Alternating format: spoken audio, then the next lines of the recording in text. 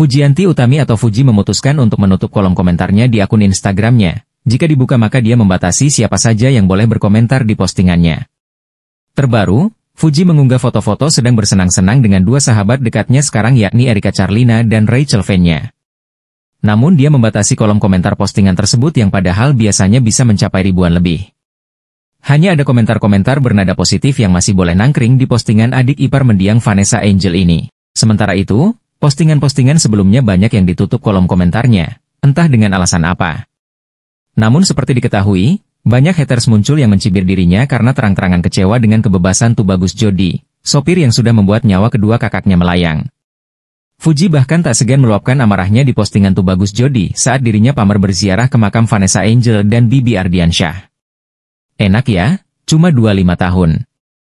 Tapi Gala kehilangan orang tuanya seumur hidup, jika tanya begitu pedas membalas salah satu komentar netizen di postingan tersebut. Reaksi Fuji menuai pro kontra. Ada yang menganggap wajar jika Fuji belum ikhlas. Sementara itu beberapa mencibir karena menganggap gadis 21 tahun ini munafik. Apalagi saat momen dirinya bersenang-senang dengan Rachel Fenya dan Erika Charlina muncul di sosial media. Fuji pun sempat beberapa hari tak muncul di sosial media juga setelah mengomentari kebebasan Jody. Beberapa netizen jadi penasaran dengan aksi Fuji yang menutup kolom komentar hampir semua postingannya. Hal ini terlihat ada netizen yang nimbrung di kolom komentar postingan keponakannya, Galaskai bersama akunnya. Langsung off comment, atau dibatasin, e-komentar netizen. Belajar lagi rukun imannya Fuji. Gak ada di dunia ini orang yang ingin celaka, e-kata netizen menasihati. Kalau kita selalu menyalahkan diri sendiri atau orang lain, berarti kita bukan manusia yang beriman. Karena segala sesuatu yang sudah terjadi semuanya atas kehendak dan juga izin Allah subhanahu wa ta'ala. Wei Fuji, kata netizen lain.